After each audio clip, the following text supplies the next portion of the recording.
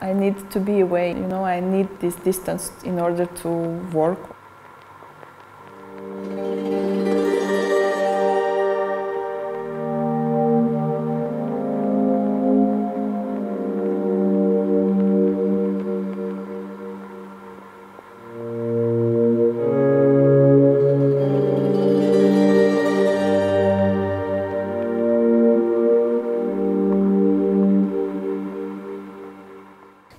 Iedereen kunstenaar wil zijn eigenlijk. Het is toch een uh, specifiek uh, traject. Ik denk dat iedereen geboren is als artiest of als creatieveling. Maar dat dat te maken heeft met opvoeding of zo, dat we dat, dat al gaandeweg verliezen. I think that essentially everybody wants to be an artist, but uh, they probably don't know it. I think that there is so much freedom in it and, and possibility for a kind of learning about the world which is today forgotten and ignored. And everything is so so rational, so grid-like. I think that uh, it is only in the vestige of an artist that you can really explore things and think for yourself, think in an independent, irrational way, without it being seen um, as illegitimate. C'est un choix de vie, quoi. C'est pas qu'un choix euh, de vouloir faire ça, c'est un choix de vie vraiment. Parce qu'on euh, ne peut pas vraiment le mettre de côté, quoi.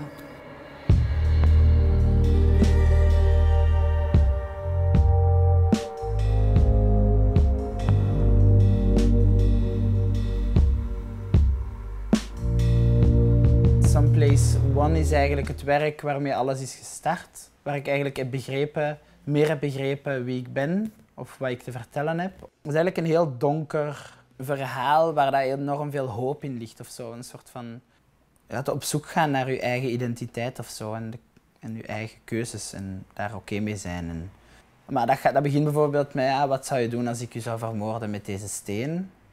En dan komt die reactie eigenlijk een super aparte reactie daarop van ja, maar dan zou ik gewoon sterven en ik zou daar oké mee zijn. En dus eigenlijk die ontwikkeling begint van daaruit. En dan wordt dat donkerder en donkerder en ja, dat eindigt in een soort van nachtmerrieachtige situatie. Waarbij dat eigenlijk ook superveel hoop uitkomt. Ik weet niet, het is, het is eigenlijk een heel luchtig gesprek. Het beeld dat mij misschien het meest uh, bijgebleven is dat ik zelf gemaakt heb, is een iets oudere foto van mijn moeder. Dat was in mijn eerste jaar vrije kunsten. Had ik een fotoreeks gemaakt, portretten van haar. En dat was een beeld dat zij, dat zij zelf heel schoon vond. En ze had gezegd dat ze, dat ze zelf van dat beeld vond dat ze heel radiant was. Ja, ze sprak daar altijd heel, heel liefdevol over, over die foto. En daarom dat dat een beeld is die nou aan mijn hart ligt. J'aime bien cette idée transgenre, donc de, de faire des choses qui soient entre les genres. Donc que ce soit euh, avec des cheveux, ça pourrait être des... On ne sait pas si c'est des, des, monstres ou si c'est euh, un homme ou une femme. On perçoit entre l'animal, le végétal et que ça, ça en tout cas, c'est des éléments qui, euh, que j'aime beaucoup.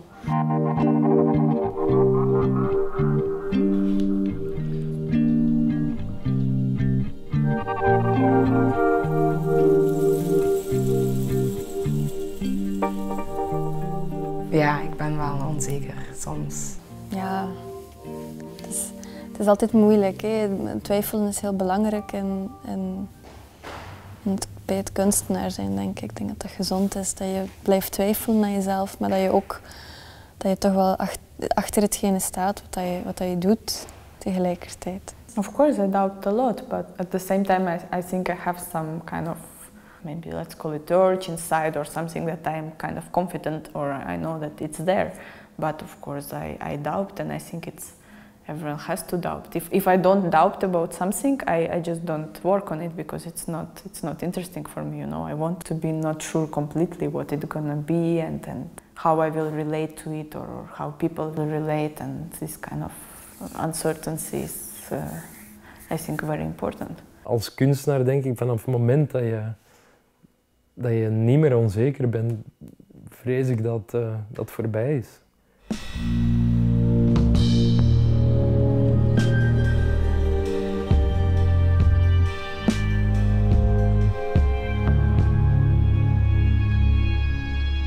Ik uh, schilder heel weinig en ik heb ook geen vast medium. Dat is altijd afhankelijk van welke ideeën of welke beelden of welke woorden zich voor me en beginnen clusteren. En dan oh, misschien dat materiaal, ja. Een brood. Ja, kleine banaliteiten die dan plots ook een enorme betekenis krijgen.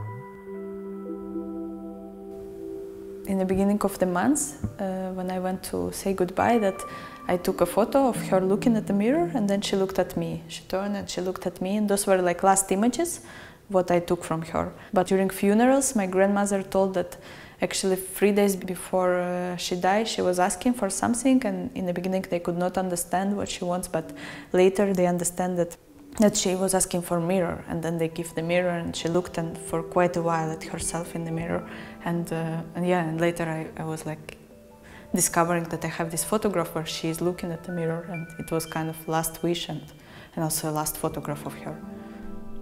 Kormos! Ik denk dat het eerder gaat over dat ik met mijn werk mensen wil laten kijken naar dingen.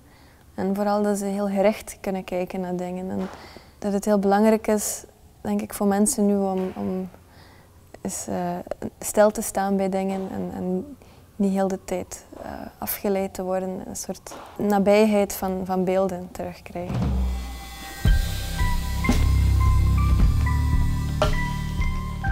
Réagit comme il veut. Je ne suis pas dictateur. Je voudrais pas que hey, euh, tu dois réagir comme ça à votre travail. Non, justement, il est libre. Mais après, c'est moi ce que je mets dedans. Maar een ideale toeschouwer bestaat niet. Je kiest dat, uh, dat iets er is en je kiest dat mensen ermee kunnen omgaan.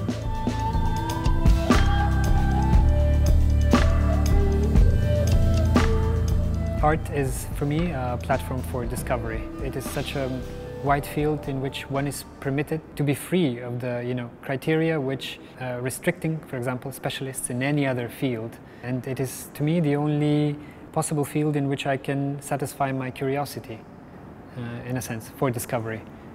Ik zoek heel veel de gevoeligheid op of zo. En dat kan echt in de conceptuele kunst liggen, keizwaar, en ook gewoon in de figuratieve kunst. En dat is heel breed voor mij wat kunst juist betekent. En voor mij is dat echt vrijheid en is dat ontwikkeling en is dat confrontatie en is dat taboe doorbrekend. En... Dus dit is het werk. Het is natuurlijk ook vrij voor interpretatie van de kijker. Van of dat die personen zich bewust zijn, of dat die persoon uh, hun filmt of niet.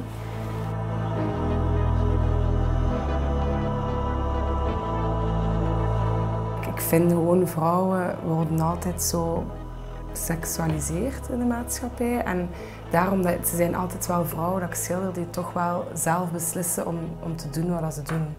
The sculptures that I'm showing uh, in the exhibition are an expression of the native capacity of the body or the native capacity of the mind to compound things, you know, to put things together, to stand them up, to turn them on their side. It's something which I feel almost my body knows how to do without me consciously intervening in the working of the, of the, of the piece. Il y a le corps qui est souvent là, présent par petites parties. Par exemple, ici, euh, sur cette image, un préservatif euh, rempli de flux euh, procréateurs.